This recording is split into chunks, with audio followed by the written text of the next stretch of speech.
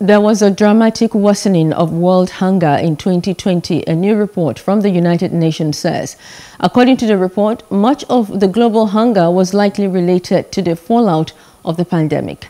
The report estimates around a tenth of the global population, that's about 811 million people, were undernourished in 2020. FAO chief economist Maximo Torero said around 282 million people are more undernourished in Africa. In terms of the figures this year, 2020 will find that 720 to 811 million people around the world faced hunger in 2020. This number is approximately 118 million more people that were facing hunger in 2020 with respect to 2019. What this means is that 480 million people are more undernourished in Asia and around 282 million people are more undernourished in Africa.